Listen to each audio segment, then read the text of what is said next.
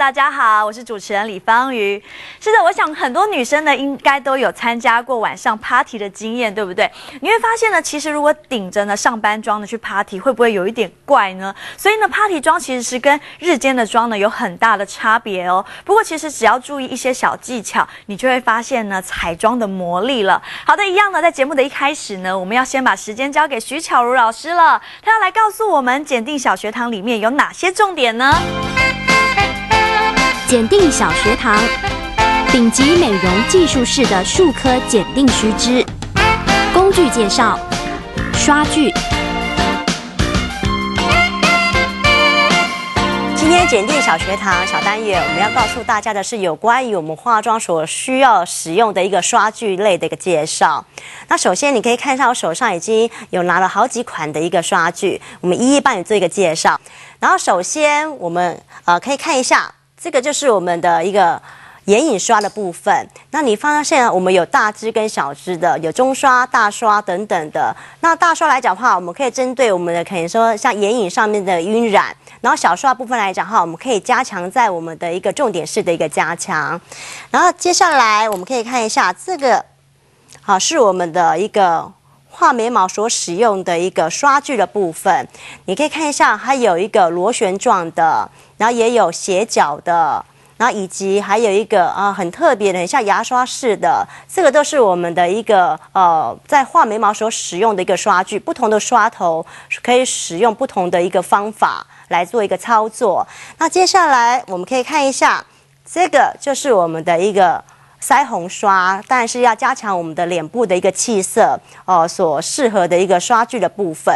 好，这个。比较特别就是我们的一个斜角刷，我们稍微看一下，你发现它是有一个斜角部分，它可以针对我们的整个脸型的部分来做一个修饰的一个效果，然后最后。这个就是我们的一个唇刷，那唇刷来讲话，我们可以加强我们的一个唇色部分一个立体度，所以我们可以让我们的唇膏可以完全的一个做一个上色，那上在我们的嘴唇的地方。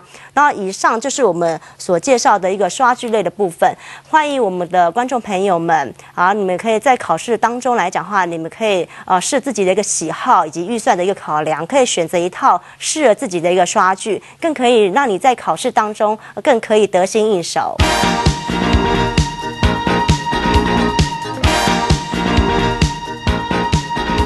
卫生在美容丙级的考试当中可以说是很重要的一环哦。里面呢有包括到了是化妆品的辨识、洗手，还有手部消毒以及消毒的方法等等的。所以说在考试的时候呢，在这个环节你一定要拿到六十分以上才算及格哦。好的，接下来呢要进到的是卫生技能操作里头的洗手还有手部消毒。我们先来看看需要哪些工具。卫生技能洗手操作器具表。酒精罐四组，洗手乳、干纸巾、洗手台、原子笔、考试试卷、卫生技能、洗手操作示范教学。美容业当中啊，服务人员呢必须时常保持手部的清洁与干净。为什么呢？因为你在服务客人的时候，这样才能确保客人的安全以及卫生。因此，小小一个洗手的动作，其实也是一门很大的学问呢，是不是啊，徐老师？是。怎么说呢？呃，其实你呃会呃在我们的整个一个过程当中来讲话，其实你放呃我们的一个卫生以及安全的部分来讲话，其实这是我们需要顾及到的。这也是为了我们的一个顾客上面的一个哦最基本的一个保护的一个层面。是，所以只要是你的手，呃，不论是呢保养的部分，或者是彩妆的部分，只要手有碰到客人的脸，其实呢手部的清洁都是非常重要的，是不是？是的。好的，那接下来这个阶段就是关于卫生技能的操作了，请老师呢教教给我们一下。好的，好。来，首先我们今天的话，我们是要呃。填写我们的一个洗手跟手部消毒的一个呃，我们的一个试卷的一个部分。是。那我们可以从中间，我们考试当天来讲哈，我们会有发这样子的一个这样子一个试一个试用卷的部分。是。那里面的话，其中的话会有呃总共有五大项，三项的话是用书面作答的一个方式，两项的话是用操作的。哦，对，是首先我们可以看一下我们呃书面作答部分来讲，第一项，我们呃这个部分来讲的话，我们可以写出呃维护我们的顾客，然后我们在营业场所的时候，洗手的时机是在维和。什么时候可以洗手呢？嗯，所以我们这边有一个答案的部分，呃，第一项的话是工作前后，是都是需要进行我们的一个洗手的一个动作。然后第二项就是打扫后，打扫后。对，所谓工作前后的意思，就是比如说要帮客人开始保养护理，护理前以及呢护理完了，护理后是这个意思吗？对是的好的，好，那再来是第三项，为维护顾客的一个部分，我们写出说在营业场所。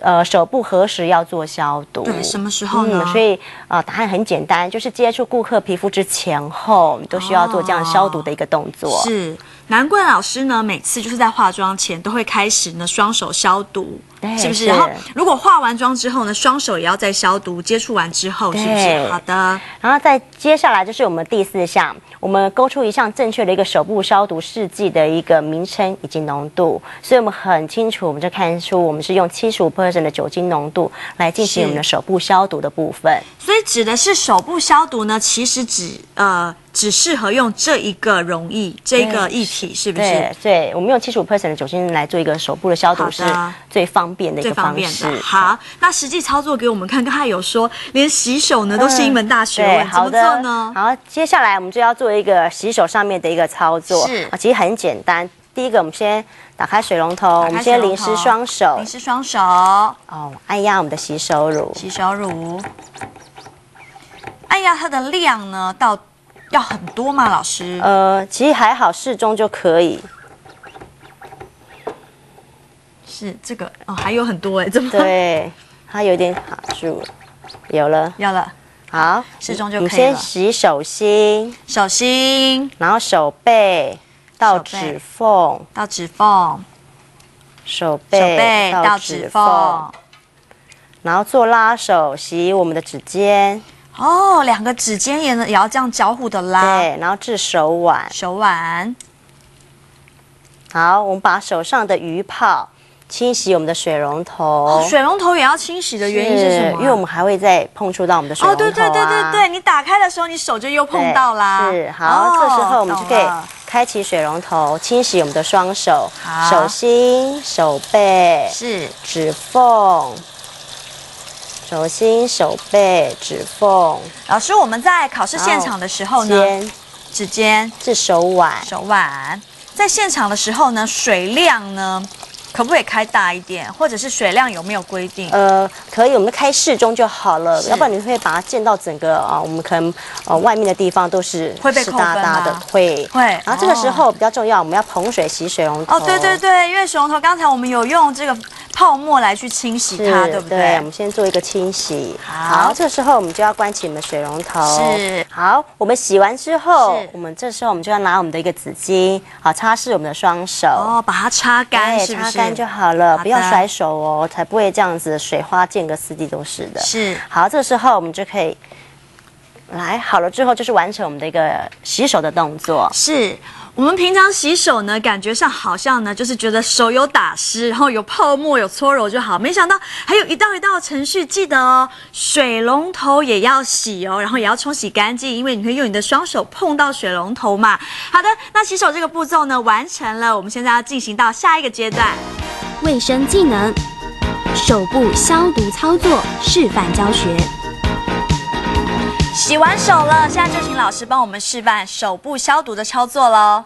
好的，我们上面有看到我们有四种的一个不同的一个溶液，是所以我们今天会选择一个正确的是七十五 percent 的一个酒精溶液来进行手部消毒。哎，老师，所以我们在考试现场呢，也是这四种，会不会放在桌上？你要选择是对的那一种。对，是的好。好，首先我们会拿取我们的镊子，我们会打开盖子，盖口要记得要朝朝上。老师可以再讲一次盖口朝上的原因吗？不可以这样盖着，对，要这样，为什么呢因为呢？这样子的话，你会发现说，哎，可能说我们会有一些呃细菌啦，然后可能这样子的话会污染我们整个的一个盖。然后你又盖回去，然后里面的对东西全部都被污染了。对好是的，好，我们取出我们的棉球，也是百分之七十五的酒精棉球，我们可以取出二到三颗都可以，然后把镊子以及我们的盖子要放好。是的。然后首先我们会先进行我们的好，我们熟悉的手心、手心看清楚喽，手背、手背，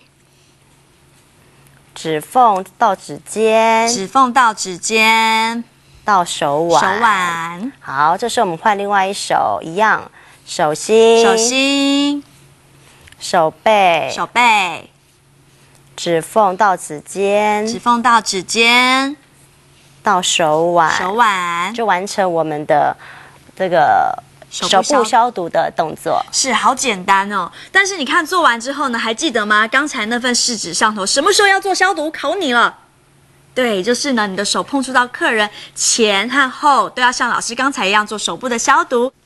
今天为大家示范的是晚宴妆的部分，那包括考试的四种妆容已经全数介绍完毕了。不知道你学会了没有呢？其实四种妆容啊里头呢，你只要注意它的整体的搭配性，还有小技巧，相信呢这一关你一定可以过关了。如果还不是很熟悉的朋友们，要跟大家报告一下哦，你可以上新北市劳工局的新北市一职网上网收看。那再一次感谢大家的支持，我们下次见了，拜拜。